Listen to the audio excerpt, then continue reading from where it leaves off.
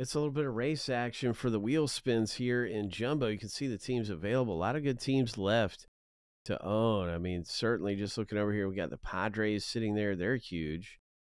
Uh, the Reds, Dodgers, great teams to own all over the place in this thing. The Cubs, strong. Orioles, really strong in this thing. So let's get to it. Let's see who's getting this these spins.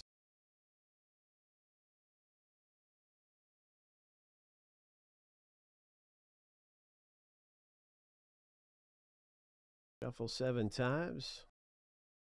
Lucky number seven. On your mark. Get set. Go.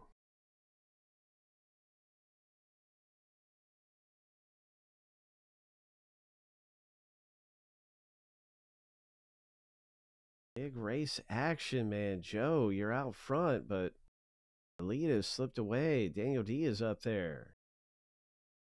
10 seconds, Daniel. Rocket, keep it going. Here comes Heath. Heath is coming up fast. Three, two, one.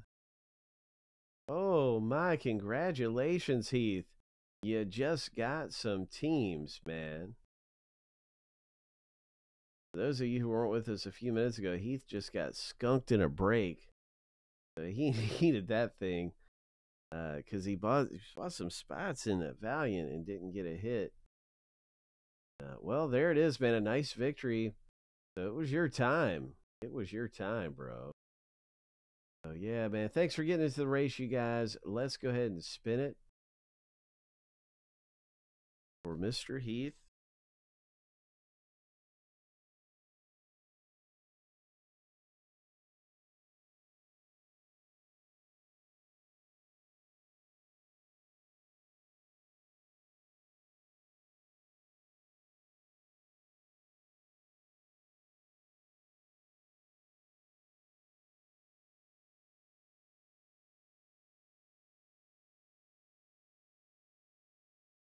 And here we go. Here's team number one.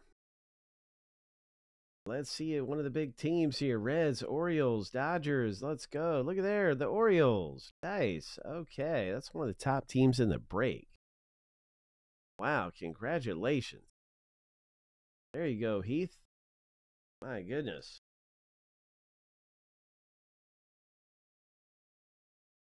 Here we go. We're going to give it a whirl.